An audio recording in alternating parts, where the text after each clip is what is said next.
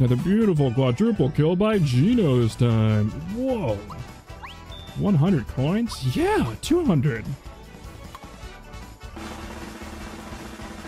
Oh shit, that was so easy.